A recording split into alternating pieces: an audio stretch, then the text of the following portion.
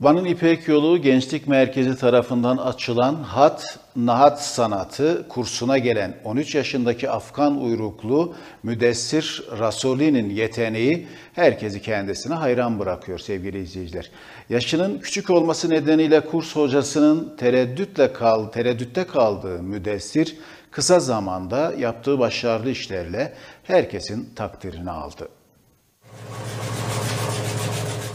Van'ın İpek Yolu Gençlik Merkezi tarafından açılan Hat Nahat sanatı kursuna gelen 13 yaşındaki Afgan uyruklu Müdessir Rasuli'nin yeteneği herkesi hayran bıraktırıyor.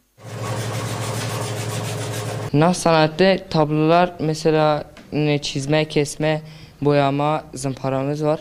Arkadaşlarımızla yardımcı tablo yapıyorum burada. Ben iki yıl önce Leviz Hoca'nın yanında sağ olasın beni kursa yazdı.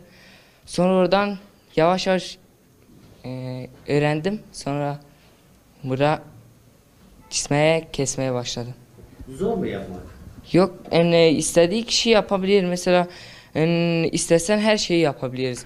Ben bunu istedim, çok istiyordum, yapabildim. 3 yıl önce ailesiyle birlikte Van'a gelen Afgan uyruklu Müdessir Rasuli, Gençlik ve Spor İl Müdürlüğü bünyesinde faaliyet gösteren İpek Yolu Gençlik Merkezi'ndeki Hat Naat Sanatı kursuna yazıldı.